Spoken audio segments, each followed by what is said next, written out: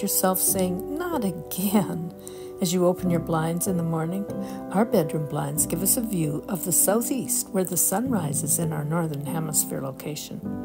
When my first sight is a dense bank of gray cloud, after enduring months of West Coast rainforest winter, or as it often is, a not so gentle, more monsoon like rain, that makes it more difficult to not complain.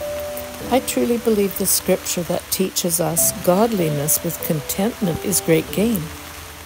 So, my inner voice quickly corrects my complaints with a plan to make the most of a new day, whatever weather we are given. I see by our channel analytics that many of our viewers are not from our area of the globe. Oh, and by the way, viewers, we heartily thank you for being here watching this. So let me ask you, those of you who live in perpetually sunny climates, do you ever get discontent with your prevalent sunshine? Please tell us in the comments what you find wonderful or what gets tedious about your climate. We hope you enjoy this video showcasing the wonders of the Pacific West Coast rainforest. Us Zippsters are blessed to live close to the ocean at the edge of a beautiful coniferous forest. We're about 300 feet above the coast, so the wind and water currents and the mountain nearby all affect our climate. Thinking about our topography and geography helps to make more sense of our weather.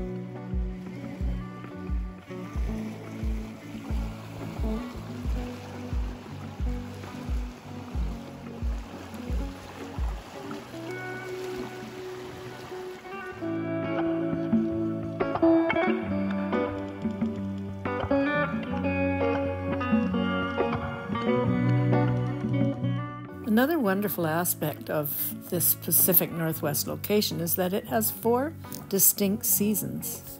At the moment, we're only three weeks into spring, yet this season is well underway here.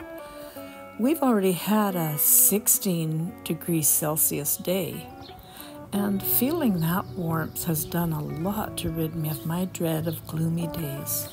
Soaking in even the weak early spring sun is the essence of hope when so many of our favorite things are just around the corner flowers, gardens, swing time, picnics, kayaking, and camping.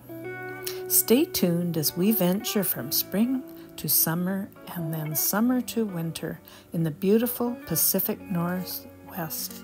We'd like to take you along,